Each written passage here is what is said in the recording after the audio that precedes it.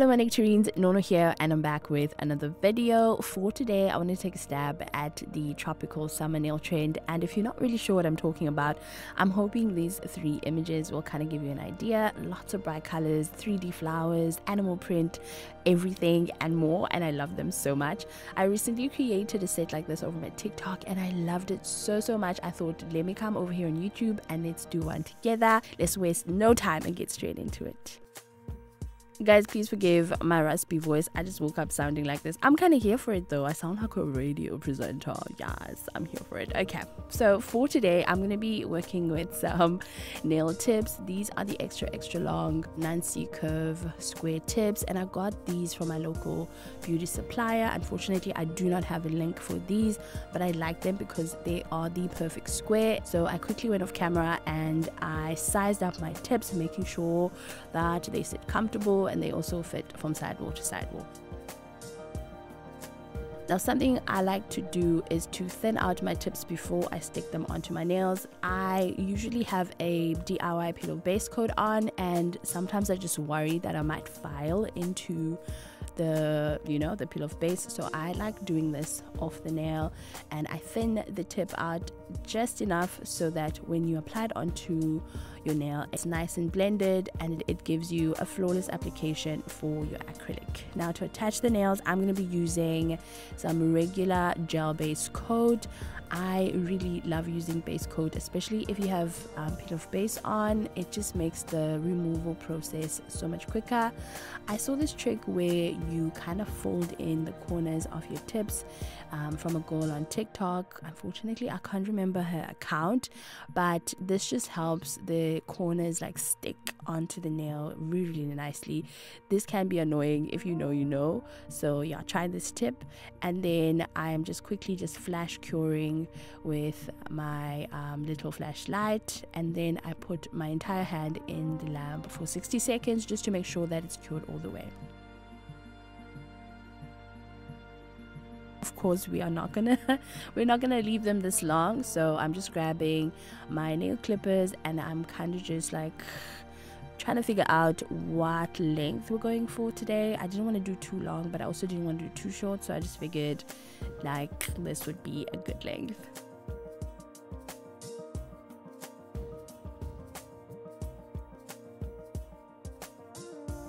After I'm done trimming them down, it's time to just really taper them in and just file up those free edge. I also just find that if you shape up your tips before you apply acrylic, it really helps with the application time. You just work much more quicker.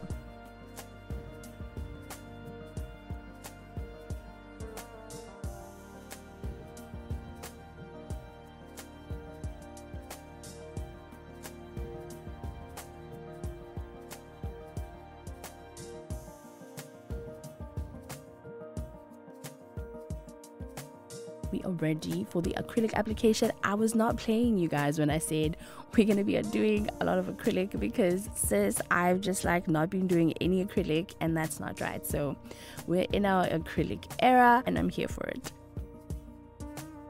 I'm grabbing my first bead, and you guys know I really, really love starting um, the application by the cuticle area. I just find that this it's just quicker for me to do it this way, and uh, I angle the nail down so that the acrylic flows and it doesn't flatter my cuticles, and it just makes the whole process go by so quickly.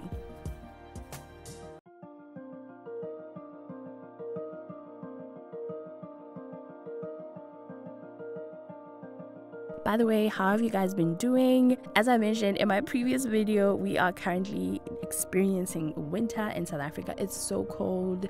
I'm over it. I'm not a winter baby at all, you guys. I love summer. Give me the heat. I want to go to the beach. I hate winter. I hate layering. I hate feeling cold. if you're a summer baby, please let me know in the comments because wow, winter is just too too much. I I don't like it. But what can we do? You know, we just have to hang in there and wait wait for warmer days to come.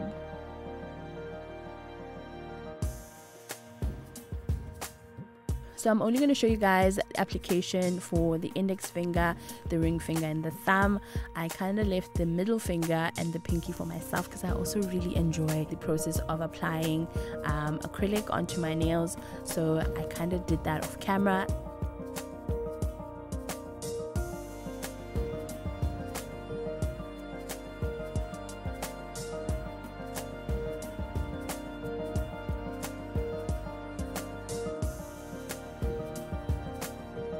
finishing up with the thumb. What I do like to do is just saturate the brush with some monomer and just glide it over the nail just to give the nail a nice smooth finish. And we're done with the application, you guys. So proud of myself. It is looking so good.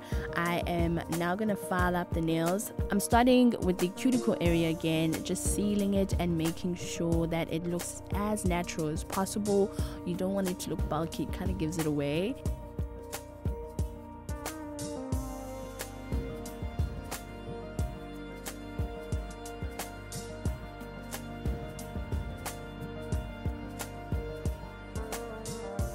Finish up the rest of my nails off camera, buffed them, and then I give them a quick wash. And this is how my nails are looking at this point. I'm really happy with the application. I'm loving the shape. I was patting myself in the shoulder. Hopefully, no mishaps this time around. So I got some of the sunscreen onto my nails. So I'm using a alcohol pad just to remove all of that oiliness so that we can start with the nail art.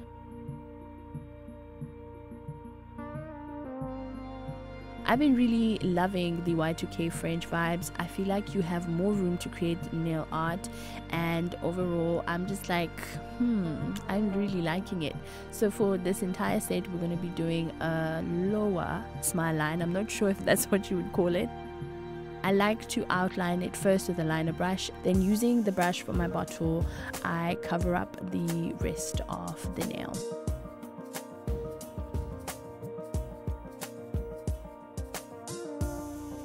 Now for this nail, we're going to be doing the zebra print and the 3D flower. It was my second time doing the zebra print. I'm not really um, an expert at it, but the only tip I would give you guys is to just make sure that the lines are squiggly you know they're not perfectly straight and also you want to do lines that kind of merge into each other and also some lines must kind of like spread out into a fork i hope that makes sense and then uh, you just try your best to not make them touch but if they do touch that's even fine. You know what i mean? Like no two zebras are the same i'm guessing.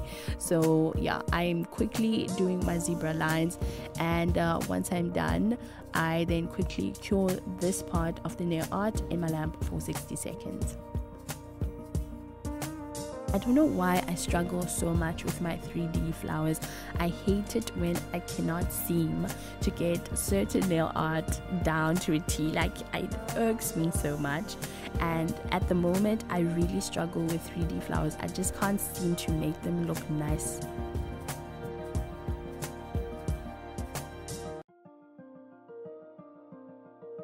Now I'm going with my Modelones color cube because I really like the intensity of these gels. I decided to go for a orange purplish kind of flower which i kind of regretted. I should have just made it orange pink but it's okay. I ended up liking it at the end. I'm now going in with the purple gel and i'm ombreing it inwards and just making sure that the two colors are coming together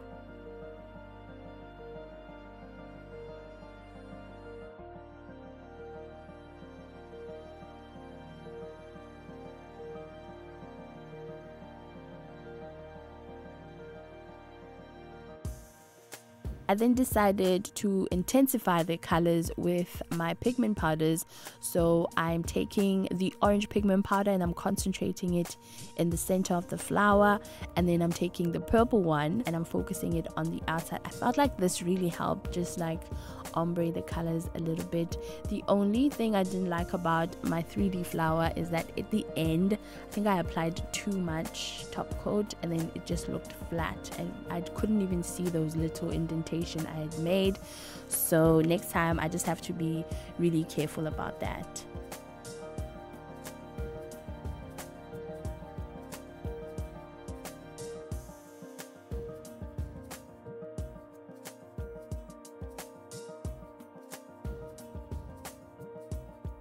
Now it's time to add the caviar beads in the center. To do that, I'm using my builder gel in a bottle from Modelones to just stick them onto the center. And then I picked up quite a few. I think I picked up five caviar little beadsy weedies. And then I stuck them into the center of the nail, cured everything for 60 seconds, and then I applied my top coat.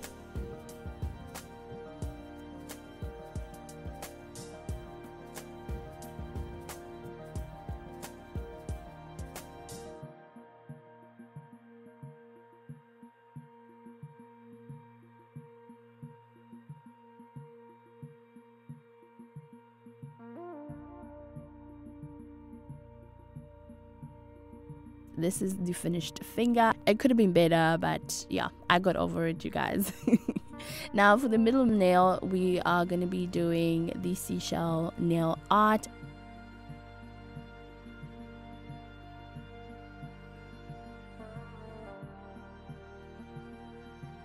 Once I was done with the smile line, and I decided to fill in the rest of the nail with a um, nail art brush. And while the gel is still wet I'm now going to go in with different colors kind of just like going from side to side as you guys can see and merging them and smooshing them together.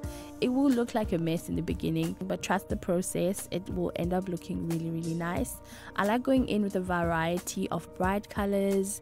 Um, you'll see I'm putting a little bit of white in there some blues and then some orange as well just so that it gives a realistic seashell look. And I really love the colors that I chose to you know swish together.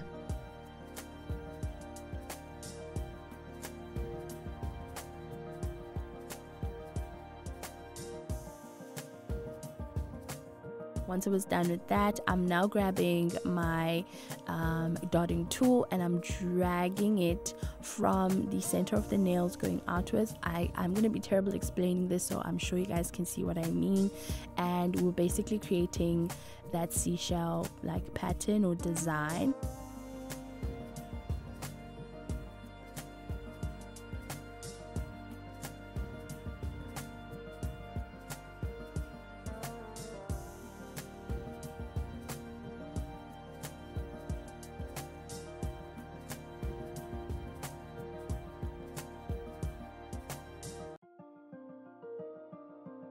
then cured the nail for 60 seconds. Now I'm gonna go on the lines that I created with some white gel polish. I saw someone else do this. I wish I had saved it, but I didn't. And I thought it was really, really pretty. So that's what I'm gonna do as well.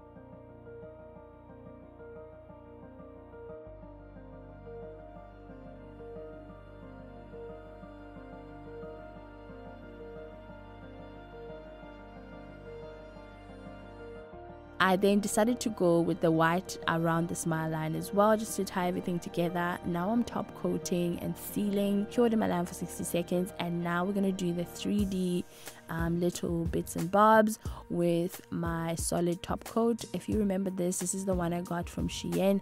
I'll also have it linked down in the description box. Guys, I love this product so, so much. It saves me so much time. It dries non-tacky and it stays in place, which is amazing. I don't have to worry about flash curing in between. For example, the 3D elements that I'm doing now, they shape like a water drop. So if I notice that the um, starting point is too too flat. While the gel is still wet I can go in with more gel and it stays in place. It doesn't move and I just love that about this gel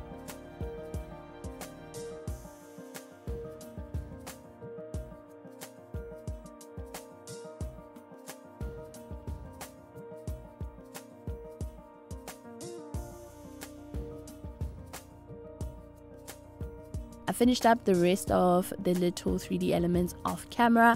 Now I'm going to add some flat back pearls. I'm also just going to add a little bit caviar beads. If I had like a seashell um, charm or starfish, I would have gone in with one, but unfortunately I don't have but I still think that the pearls did an amazing job and this is the final look you guys so so pretty if you haven't tried this seashell design please try it it's so satisfying to create and it, it's just so pretty you guys onto the next nail which is the ring finger. I'm going back into that color cube from Modelones i'm using that bright pink to create a frenchie for this finger. And then again using my gel brush i'm just filling the rest of it up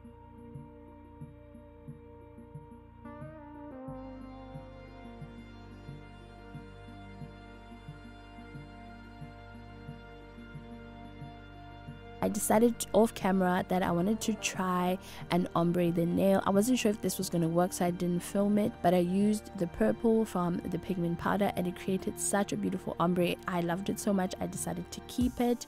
Now I'm going to go in with some milky white gel and I'm applying a very thin layer over everything. I was very careful because again I've got um, pigment powder in there and I didn't want it to melt into the milky white gel. I decided to apply it rather like messy and over the fringe because I just wanted to make sure that it's everywhere and then I cleaned up.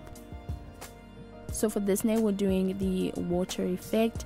So I'm using my blooming gel but I've seen other people use top coat and top coat works just as well.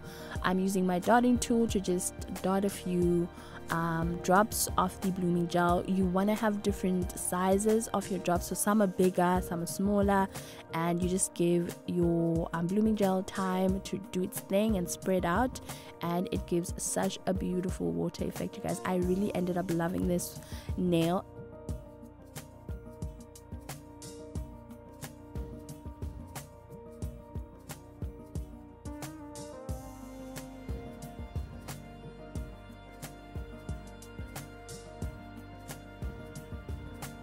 Now for the nail art, I just applied one iridescent rhinestone. I had these little glass caviar beads lying around, so I added those as well. And uh, I just played around, you guys, until I was really happy with how it looked.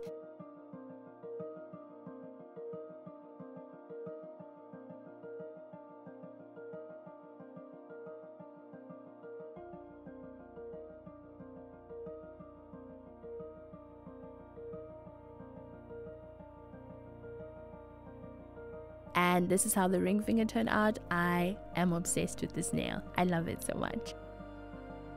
I was too excited to start on the tiger print so I decided I wanted to do it on the thumbnail. I'm using this beautiful nude shade. Um, this is also from Modelones. I outlined the smile line and then once I was done I then filled everything up with the um, brush from the gel bottle I wanted to do an ombre that goes underneath the print.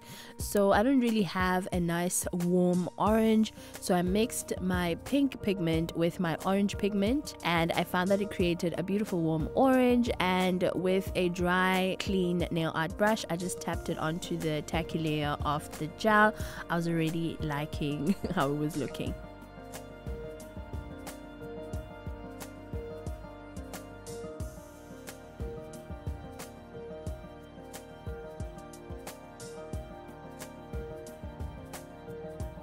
I really struggled with this tiger print, you guys. And I couldn't really pinpoint why I was struggling. What made it worse is that I showed my husband and he said to me, they it looks like little mustaches on the nail. and then I just didn't like it at all. So I ended up wiping it off altogether. And then I decided to do the ombre in the center of the nail like you would in an aura design. And I found that that really helped me so I quickly did that off camera and uh, this is how the new one looked now and I was very happy with this one. I'm going in with my solid glue gel and I am kind of placing it along the smile line. I made sure that it's thicker towards the center and then to make it thinner towards the ends I pulled some of it off. This really helped to give me a nice clean look at the edges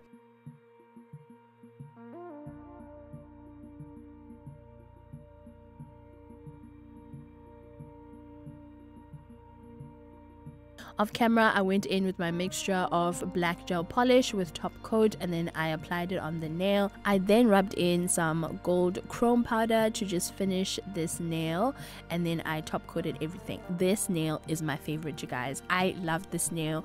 I could do an entire set exactly like this. I feel like the gold just worked so well with the tiger print, with the orange and the black. It's just, this nail's my favorite. So stunning.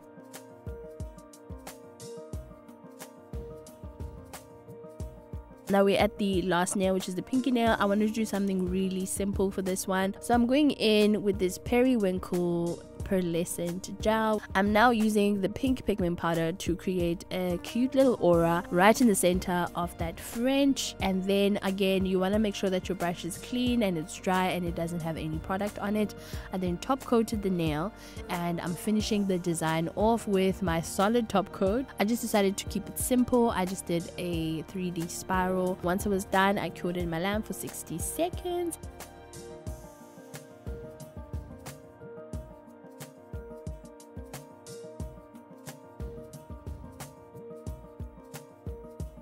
And we were officially done with our set today. Finishing everything off with just some cuticle oils because my cuticles are so dry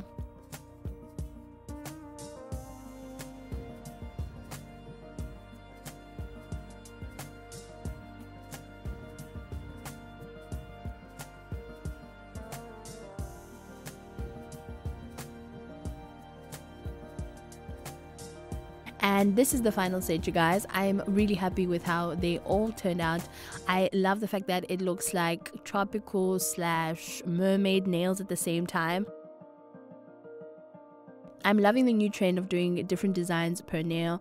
It's just so much fun to create the nail art and overall the nails just look so interesting, so beautiful. So I'm obsessed. Please let me know down in the comment section which nail is your favorite. As I mentioned, mine is a tiger print because I thought it was just amazing. I am so proud of myself that I was able to pull it off. I'm really curious to see what you guys think of this set. If you haven't, please do me a huge favor, click the like button. It helps my channel out a whole lot and most importantly if you haven't please subscribe. I'm gonna see you guys real real soon. I hope you're having a fantastic day wherever you are. Bye guys